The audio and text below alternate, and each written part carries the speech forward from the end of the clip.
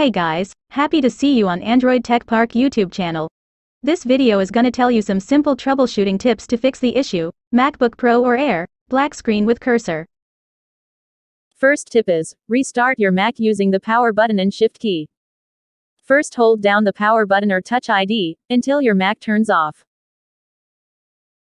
After that, press the power button, and then immediately hold down the shift key, until you see the progress bar start moving.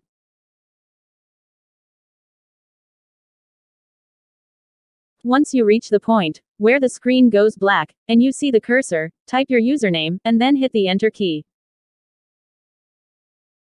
After that, type your password and then hit the enter key. Now you should see the spinning beach ball on your Mac screen. Then your Mac will move on to the process, completing macOS installation, and let the process finish.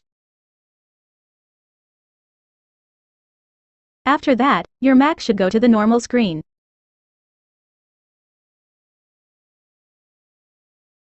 Second tip is, reset PRAM or NVRAM. First hold down the power button or touch ID, until your Mac turns off.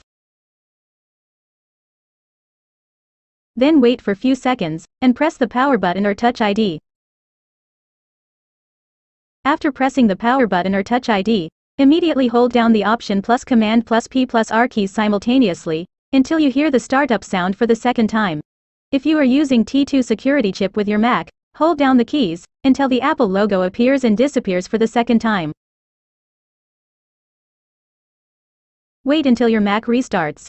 Your Mac will take up to 15 minutes to restart.